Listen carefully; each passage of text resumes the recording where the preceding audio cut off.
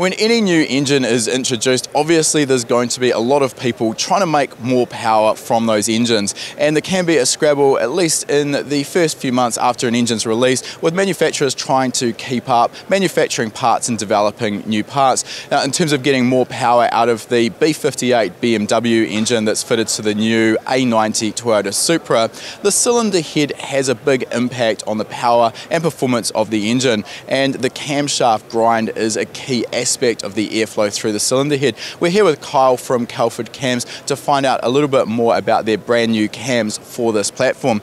So, Kiel, obviously the uh, A90 Supra is pretty new. We're seeing it being adopted really quickly all across the world. It's uh, a no-brainer that this is going to become a very popular platform for enthusiasts. So mm. you've jumped on this obviously pretty quickly with the new cams you've got here at PRI 2019. Mm. Now, I just want to find out for a start, what is the process you go through when you've got a clean sheet design engine and you're looking at developing a cam? What do you actually have to do? What's the steps?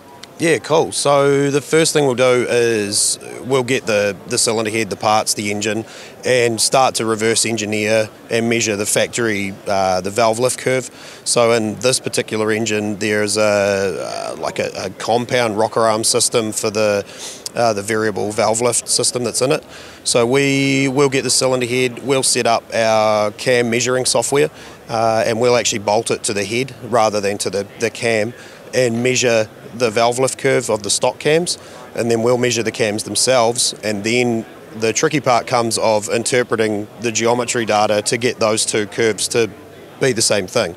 I think a lot of people might think that you just measure the lobe of the cam uh, and therefore that is your valve lift. But of course, as you mentioned, with a, a rocker arrangement and some, some geometry changes, uh, the lift and duration at the cam lobe doesn't necessarily reflect what you're getting at the valve, and it's what's at the valve that, that actually counts. Uh, now, just for those who aren't aware of the B58 engine, the intermediary shaft that allows the adjustment of valve lift and duration, can, can you kind of give us the, the two second rundown on how that works? Yeah, sure. So it's a uh, in this engine, the exhaust is like a conventional camshaft on a rocker arm uh, finger follower.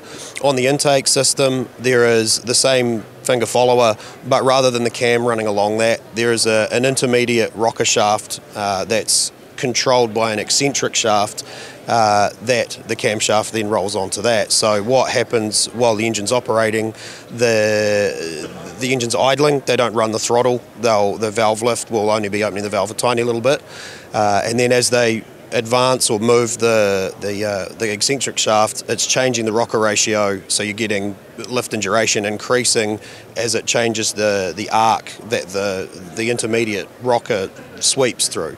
So the idea is the, the idea here to sort of reduce pumping losses of the engine in, in, the factory form. So you're only really using the valve lift that's necessary for the power required, rather than the throttle needing to be closed. Yeah, yeah. So it's a technology that's been around for a while. We've seen a few different manufacturers that have run their versions of it. Uh, this seems to be the one of the more complicated ways of doing it. Uh, but yeah, it's it's a it's a cool little package, and we've we've we've sort of cracked it, which is good. Now, on top of that, the engine also runs a continuously variable cam control system as well, which again nothing particularly new, but that's another consideration you need to take in there. Yeah, yeah. So for our smaller cam grinds, what we've done is we've only really affected the way we've shifted the phasing of the cams is we've kept the TDC events, so your intake valve uh, open and exhaust valve closing points much the same, uh, and really added shifted where the centre lines would be because everything's variable. It's hard to kind of pin it down, uh, but we've affected the exhaust valve open and intake valve closing points so that uh, while the engine's still fresh, there's not a lot of parts available for it. The piston to valve clearance should be much the same for having increased performance. But then, of course, you can tip it forward and move it, you know. So, yeah. So, so this is a big consideration, though, for a cam grind for a, an engine that runs variable cam control. Obviously, you can advance and retard the cam sometimes quite significantly. Mm. So, do you need to factor that in and basically measure the, the engine, the, the valve to piston clearance with the stock system so you can work out how much further you can go? Or at, at the moment, are you just limiting it very close to stock for safety? For the valve events that affect piston to valve clearance, we're sort of keeping those much the same. So with the, the bigger cams that we have done, uh, the, you know the B spec, we do our A's and B's. Uh, they will you'll be able to have the full sweep of factory cam control, and then we'll get bigger cams that we sort of we can't take piston to valve clearance into account when we're building a cam. You you need that much lift, you need that much duration you need to figure out how to fit it in the motor, you know.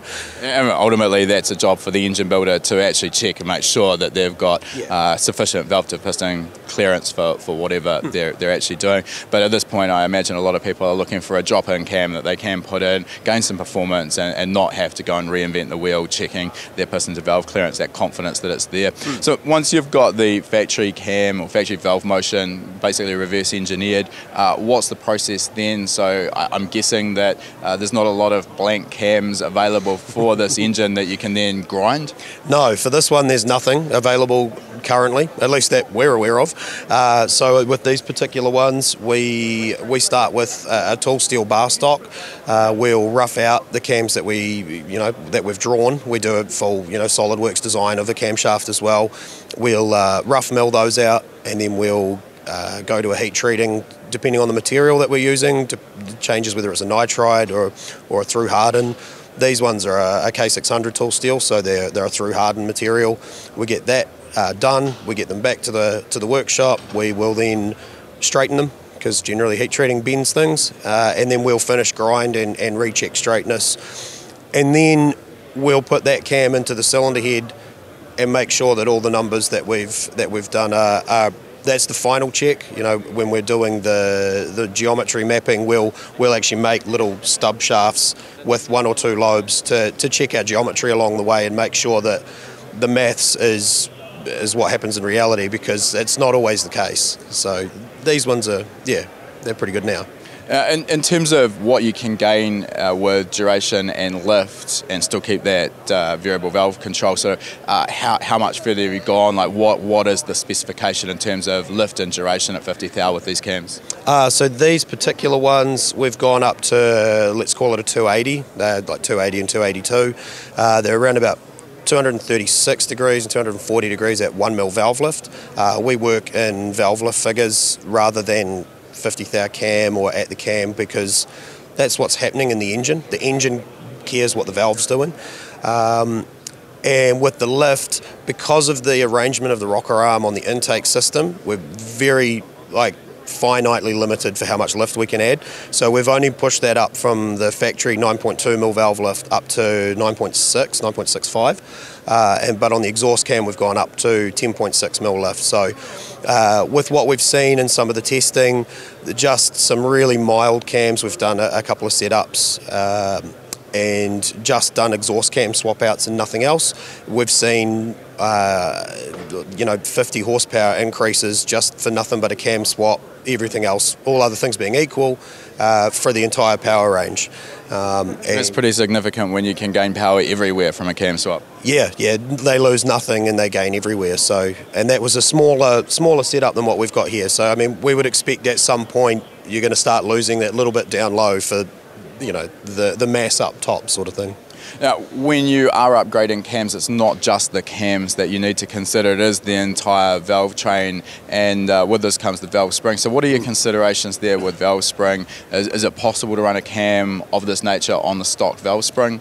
We look at that to start with. So, for any new product, we will actually look at what the factory springs uh, are capable of. We'll measure them, we'll weigh them, we'll section them, we'll get frequency numbers of the materials they're made of, and we'll see if there is something that we can offer that people can just drop straight in at, on the stock valve train. Uh, not really lucky enough with the factory spring in this engine to, to do that, so we then have to look at uh, all the valve train masses, uh, the, the, the geometry of them to see where that mass is going to affect the, spring, how it's going to need to be controlled. Uh, and this one, as complicated as the rocker setup is, uh, a lot of the, the forces that are in it that need controlling actually are self-cancelling. So the spring is not quite as ridiculous as you might think when you see the big tower of springs and stuff everywhere. So it's uh, it's It's been really good. We've, we weigh the valve, we weigh the retainer. Uh, in this case, we'll we replace the retainer with our, our own design of titanium retainer, uh, and obviously our own spring designs, which we get uh, we get PAC Springs uh, over here in America to make for us. They can make everything we need to a spec we require and yeah, we'll look at rocker weight, we'll look at moment of inertia of you know of the, the travel of all the parts that are that are reciprocating and moving, and yeah, we'll come up with a spring that is tailored for that setup and our cam designs as we push those parts further and harder.